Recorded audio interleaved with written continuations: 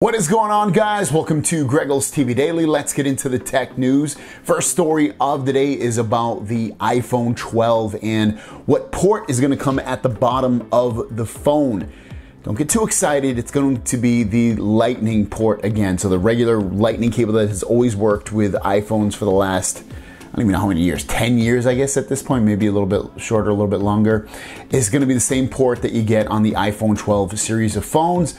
The big change is going to come on the iPhone uh, you know, 13 series of phones, and that's going to be when the phones are going to be completely portless. So you'll be able to wirelessly charge it.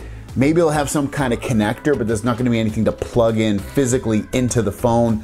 So if you're waiting for a USB-C phone or a completely portless phone for the iPhone 12, again, you'll have to wait for the iPhone 13 at the very earliest. Next up, if you're a big gamer and you have a OnePlus 8 or 8 Pro and you love Fortnite, well, good news to you because they're now announcing that officially you can play the Fortnite game in 90 frames per second. It's the first time on a smartphone that you're able to do this. Uh, it should be available, I believe, today that you can do this. Um, and also, I'm not sure if at 90 frames per second, if you're able to do that at ultra settings or medium or whatever. It doesn't say too much about that. But again, 90 frames per second for the smoothest experience on a smartphone. If you're still interested in getting a Note 10 Plus, you can get a really, really good deal right now on the Microsoft Store uh, online. So they sell and they have been selling the Galaxy phones here for a while. You can get it in any of the colors they offer. If you want the Note 10 Plus 256, it's 749, and then the best deal, the Note 10 Plus 512 gigabyte, 799. So really, really good deals for an excellent phone. If you're not excited about the Note 20 line of phones that are coming out and you want to get a, a, a nice deal right now on a really good phone, this is a great deal. I'll link it down below. The Samsung Galaxy Tab S7 and S7 Plus should be out, I would assume, around August, most likely around this time, maybe a little bit sooner, maybe a little bit later, but you're probably looking around August for the release of these tablets.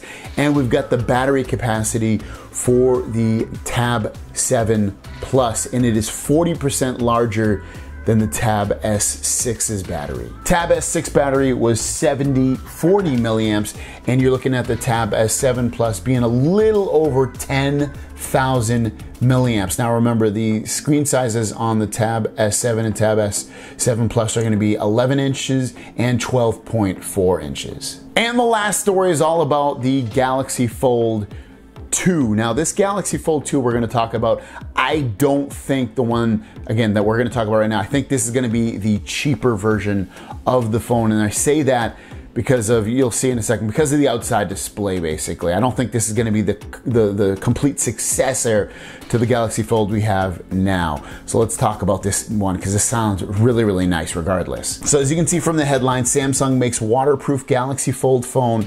Samsung patents galaxy fold 2 foldable phone with a narrow elongated notification screen a periscope camera and a waterproof housing. And when we dive deeper into this it looks like it's going to have a dual camera setup outside on the main of the main screen notch, similar to the original Galaxy Fold.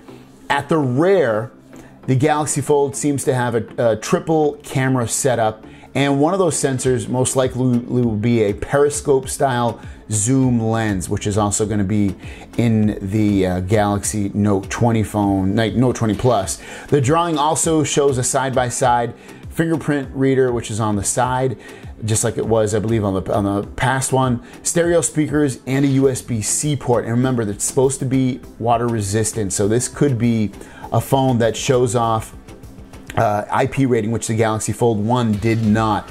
Now, when we look at the, the front display, you do see the notch on here. That's one of the giveaways that this is going to be the cheaper version. The, the rumors coming out previously was that the Galaxy Fold 2, the full successor, would not have a notch. It's just going to be a, basically a complete square.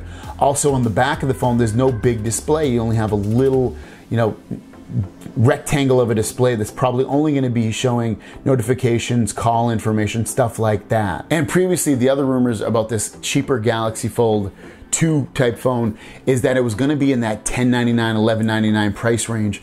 I don't know if they're going to be able to hit that, especially with the waterproof or water resistance, um, the you know periscope camera, and all that other stuff. I, I, just maybe they will, maybe they won't. I don't know. We'll have to wait and see. But this is a a very exciting phone. I mean, it's nice to have that outside display so you can use it without having to open it up. But someone that wants that big Galaxy Fold experience, this might be a perfect medium between the two to have a cheaper cheaper one, but also have water resistance thrown in there. So I'm excited for it.